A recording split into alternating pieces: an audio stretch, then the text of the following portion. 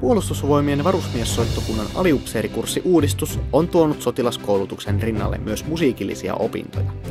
Aliupseerikurssin johtajan kapteeni Tommi Tenhun mukaan uudistus oli välttämätön.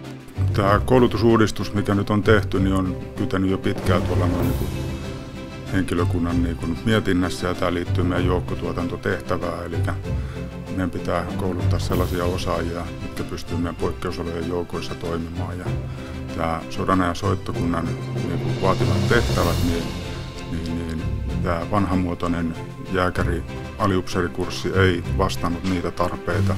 No, sanon, isona tavoitteena oli se, että meidän aliupseerikoulu itse itsenäisesti tuottaa kaikki tapahtumat. Ja siis me käytiin miettimään, että mitkä ne opintosuunnat voisi olla. Ja luonnolliseksi valinnaksi tuli sitten aika pitkälle tuon E-jakson toiminta, että meillähän täytyy olla samat toiminnot auki kakkosessakin musiikin suhteen, mitä on siellä erikois, erikoiskoulutuskaudella. Ja tämän, tämän perusteella päädyttiin viiteen opintosuuntaan, josta yksi oli viestintä, toinen oli tapahtumatuotanto, kolmas oli marssikapellimestarikoulutus, neljäs äänenjohtaja ja sitten viides oli tämä varsinainen kapellimestarikoulutus. Joulukuun ensimmäisellä viikolla aliupseerioppilailla on ollut edessään näytön paikat. Reserviläisillä vahvistettu soittokunta on toteuttanut useita konsertteja, tietysti kurssilaisten itsensä johtamina. Tapahtumatuotantotiimi tällä viikolla on ollut vastuussa oppilasmatineasta, kahdesta jouluksi kotiin konsertista sekä kolmesta alaasteikäisille suunnatuista itsenäisyyspäiväjuhlista.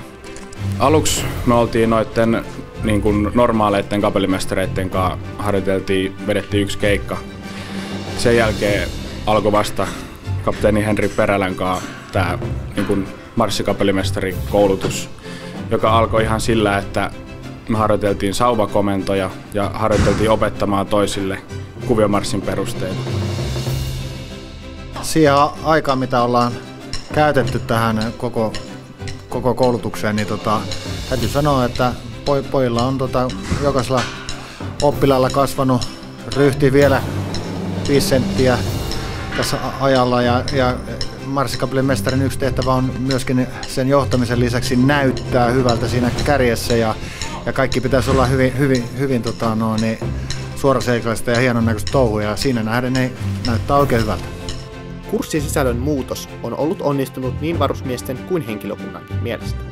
Tenhun mukaan tästä on hyvä lähteä jatkamaan kurssin kehittämistä. Seuraavalla kurssilla niin meillä Aukki Ykkönen sisältää enemmän sitten nämä perinteisen niin kuin ryhmäjohtaja koulutuksen sisältämät aiheet ja Aukki Kakkosella keskitytään sitten enemmän tähän sotilasmusiikillisiin aiheisiin, jolloin tulee selkeä jaksottelu ja nyt ollaan ihan oikealla, oikealla tiellä.